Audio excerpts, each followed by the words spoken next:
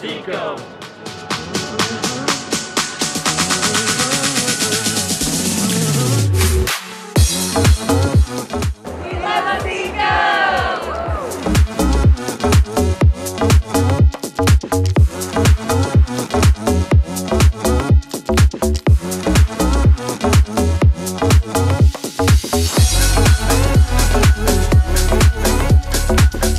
Years we've been participating with the show. It's phenomenal.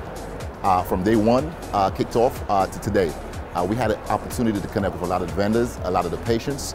Uh, I think the show is really great. The setup, the booth, um, overall frequency is top notch. So we're really having a good time from Johnson & Johnson. Learning pearls, little wisdom nuggets that we can take back to our office and implement, things with our staff, for our patients, so much.